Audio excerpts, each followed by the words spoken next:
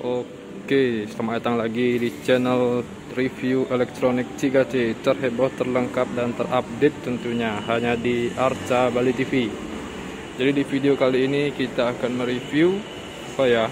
Salah satu TV dari TCL yaitu dengan tipe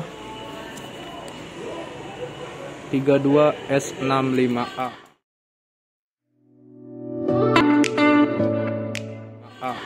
Oke, jadilah ini tampilannya. Kita bisa lihat ini kok masih dalam packing dia seperti ini. Dia sudah Android. Jadi ini udah versi terbaru dari TCL dengan Android 11. Kita bisa lihat ini modelnya. Nanti kita akan hidupkan gambar seperti apa. Kita lihat bagian belakang dia seperti ini. Ini bagian belakangnya. Oke ukuran TPS seperti ini untuk 32 inch ya. Tapi terbaru ukuran terbaru nih 2022 Jadi kita lihat apa saja kelebihan di dalamnya oke? Sip kita lanjut ke penjelasan speknya. Oke inilah unitnya. Kita bisa lihat dari pertama review dari segi tampilan. Untuk framenya dia udah tanpa frame. Ini udah sangat bersih tanpa frame dia frameless. Jadi bisa full kita nonton kita tes untuk gambarnya. Dari bagian bawahnya dia lapisannya masih menggunakan plastik. Kakinya juga masih plastik ya. Di sini untuk power di bagian tengah ya. Lampu powernya dalam bang TCL oke ini kakinya juga. Bagian kiri masih menggunakan plastik. Lalu untuk bodinya di bagian depan dan untuk panel dia sudah menggunakan hard panel. Bukan soft lagi untuk TCL oke? Okay? bagian depannya ya. Di sini ada tulisannya juga TCL Android TV ada all in sudah HDR oh dia sudah full HD HDR ada micro gaming Google Play Netflix YouTube Prime Video Chromecast dan Bluetooth. Ini seri terbaru. Bluetoothnya juga ready ya dibuat kalian yang punya mungkin speaker bluetooth bisa connect tanpa menggunakan kabel lagi. Sip. Lanjut kita masuk ke bagian belakangnya. Oke ini untuk bagian belakangnya ya. Nah di sini kelihatan enggak ya? Di sini ada input. Kurang kelihatan ya? Coba kita ubah. Nah di sini ada input untuk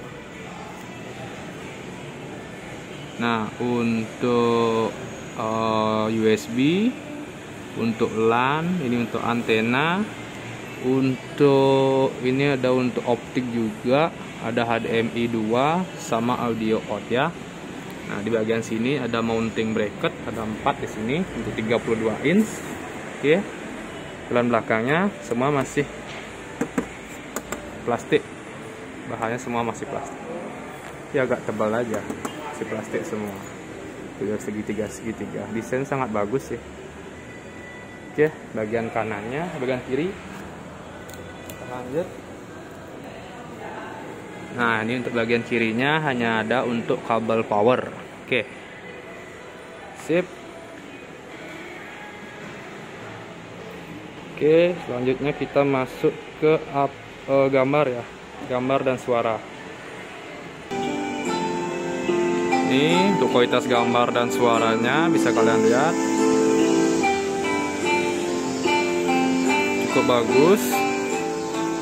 Untuk bagian speakernya di bagian bawah teman-teman. Sekali lagi saya ingatkan. Oke? Ini untuk bagian speakernya. Kita lihatlah gambar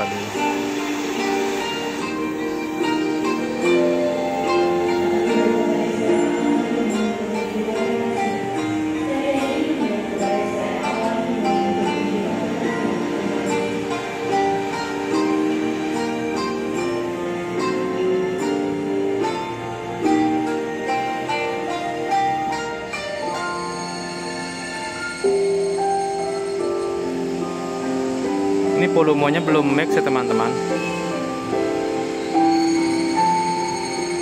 Sangat bagus gambarnya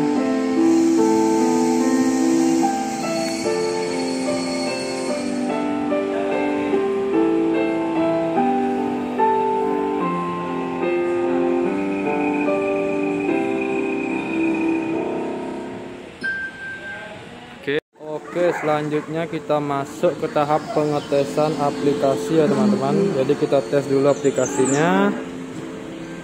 Kita pencet home. Oke sip. Oke lanjut kita jelaskan untuk aplikasinya.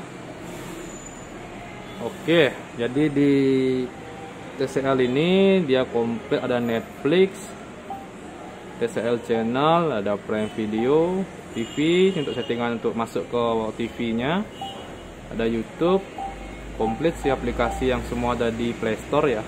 Kalian bisa download guys. Nah ini coba kita cek. Nah itu. Tunggu malam ya. Kita ubah dulu.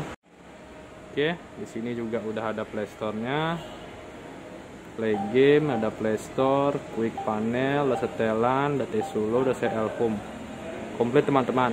Nah ini untuk aplikasinya ya. Kita bisa lihat tampilannya sangat bagus. Dan perlu saya infokan lagi ini sudah include Android 11 seri terbaru dari Android ya.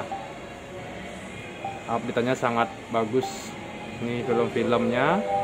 Kelebihan Android 11 kalian bisa melihat untuk film-filmnya semua sudah tersimpan semua di sini. Film-film yang lagi viral. Semua di sini. Kelihatan ya. Di situ di bawahnya ada video ada Indosiar anim apa itu untuk nonton TV kayaknya. WTV juga udah ada. Komplit teman-teman. Apple TV pun sudah ada ya kalau di Android jarang. Spotify semua udah support. Bisa lihat semua nah ini juga ada untuk film-film terbaru. Sangat lengkap sih dia UTCL ini untuk harga, di harga 2,6 kalau nggak salah. Sangat murah teman-teman nampung basi banyak ada promo. Oke dah habis. Kita lihat. Sekarang kita cek dari segi nah itu ada Google untuk voice ya. Jadi untuk voice kalian hanya perlu tekan ada ya untuk voice nya nantilah ini beda remote nya ini kayaknya Oke untuk voice nanti kita ajarin. Nah ini untuk tulisan untuk mengetik. Ini untuk input atau masukan kita cek di settingan apa aja ada ya. Oke di settingan nanti kalian pertama kali beli masuk ke settingan untuk masukkan akun Google ke email ya. Ini untuk pengaturan wifi jaringan internet kalian bisa koneksikan ya untuk login untuk aplikasi referensi perangkat kita cek. Kita bisa lihat. Untuk pengaturan tentang TV ada mulai cepat ada masukan juga. Tanggal dan waktu bisa disetting bahasa juga bisa disetting. Asisten Google penyimpanan screen mirroring lokasi dan aksesibilitas. Semua bisa disetting teman-teman. Oke lanjut.